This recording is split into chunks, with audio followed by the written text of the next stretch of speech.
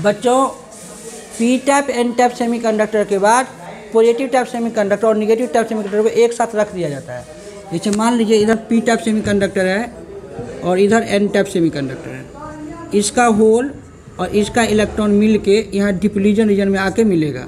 डिप्लीजन reason में आके।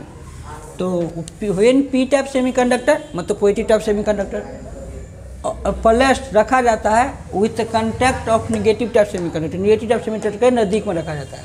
मतलब पॉजिटिव टाइप सेमीकंडक्टर को निगेटिव टाइप सेमीकंडक्टर के नज़दीक में रख देंगे। तो पोल पी का होल और एन टाइप का इलेक्ट्रॉन मिल के एक जंक्शन का निर्माण करेगा, जिस जंक्शन का नाम होगा P N junction positive negative junction तो एक ऐसा जंक्शन जिसमें पॉजिटिव टाइप और निगेटिव टाइप सेमीकंडक्टर से बना हो पॉजिटिव का होल पॉजिटिव टाइप सेमीकंडक्टर का और इलेक्ट्रॉन निगेटिव टाइप सेमीकंडक्टर का। तो होल पॉजिटिव टाइप सेमीकंडक्टर से आ रहा हो और इलेक्ट्रॉन निगेटिव टाइप सेमीकंडक्टर से आ रहा हो और दोनों डिप्लीजन रीजन में मिल के एक जंक्शन का निर्माण करता हो।